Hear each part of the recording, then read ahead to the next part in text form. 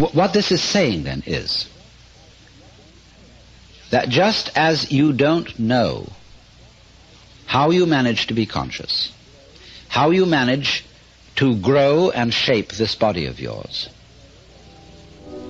that doesn't mean to say that you're not doing it. Equally, you don't know how the universe shines the stars, constellates the constellation, and galactifies the galaxies. You don't know. But that doesn't mean to say that you aren't doing it in just the same way as you're breathing without knowing how you breathe.